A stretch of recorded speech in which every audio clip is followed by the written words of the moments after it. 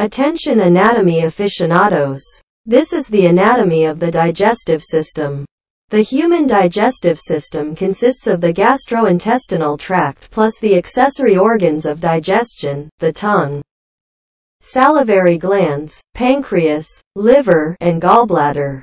Digestion involves the breakdown of food into smaller and smaller components, until they can be absorbed and assimilated into the body. The process of digestion has three stages, the cephalic phase, the gastric phase, and the intestinal phase. The first stage, the cephalic phase of digestion, begins with secretions from gastric glands in response to the sight and smell of food. This stage includes the mechanical breakdown of food by chewing, and the chemical breakdown by digestive enzymes. That takes place in the mouth. Saliva contains the digestive enzymes amylase and lingual lipase, secreted by the salivary and serous glands on the tongue. Chewing, in which the food is mixed with saliva, begins the mechanical process of digestion.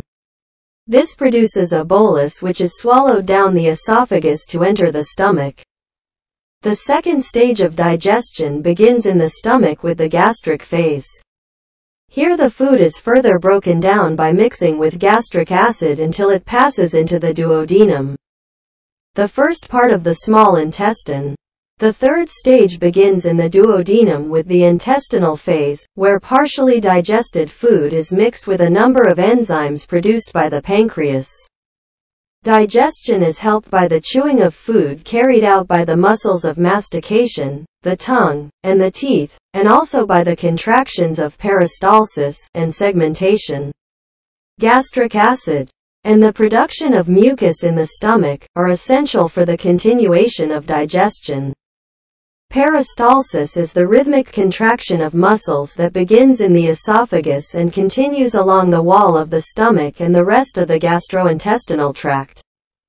This initially results in the production of chyme which when fully broken down in the small intestine is absorbed as chyle into the lymphatic system. Most of the digestion of food takes place in the small intestine. Water and some minerals are reabsorbed back into the blood in the colon of the large intestine.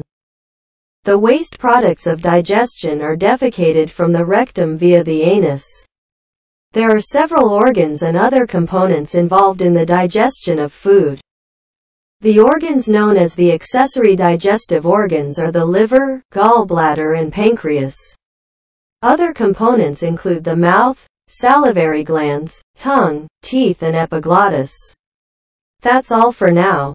Please comment and subscribe. Goodbye.